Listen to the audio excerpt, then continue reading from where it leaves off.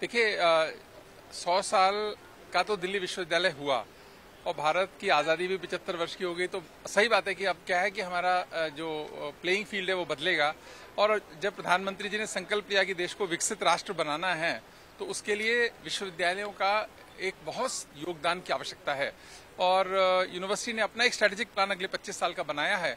हम ज़्यादा स्पीड से और ज़्यादा स्टूडेंट्स को पढ़ाने की कोशिश करेंगे, क्योंकि अगर हम अच्छे प्रोफेशनल्स तैयार करेंगे, अच्छे इंसान तैयार करेंगे, अच्छे लोग तैयार करेंगे तो जब भारत विकसित राष्ट्र बनेगा, उस प्रोसेस में भी उनका कंट्रीब्यूशन होगा और जब बन जाएगा तो उसको संभालने के लिए भी तो लोग चाहिए। वरना तो विकसित राष्ट्र तो भारत पहले भी था, गुलाम भी तो इसीलिए हुआ कि विकसित राष्ट्र था, कि वो संभालने वाले हाथ कमज़ोर हो गए थे देश के।